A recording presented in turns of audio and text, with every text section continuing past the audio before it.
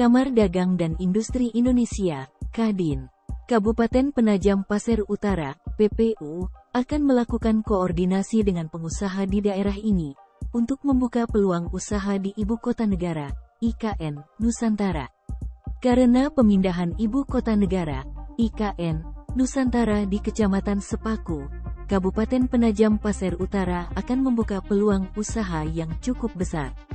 Ketua Kamar Dagang dan Industri Indonesia, Kadin, Kabupaten Penajam Pasir Utara, PPU, Rudiansyah, Kamis, tanggal 26 Januari tahun 2023, mengatakan pemindahan IKN Nusantara menjadi peluang bagi pengusaha khususnya pengusaha lokal.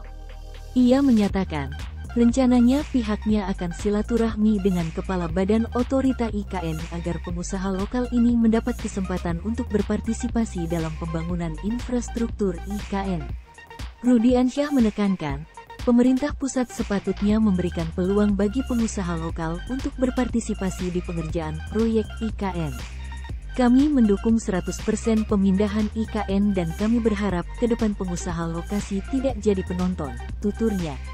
Pemerintah daerah dan pusat juga harus mempersiapkan kebutuhan sandang dan pangan bagi jutaan warga yang akan pindah di IKN Nusantara nantinya. Bukan hanya itu lanjutnya, pemerintah juga harus mengantisipasi potensi terjadinya kesenjangan sosial.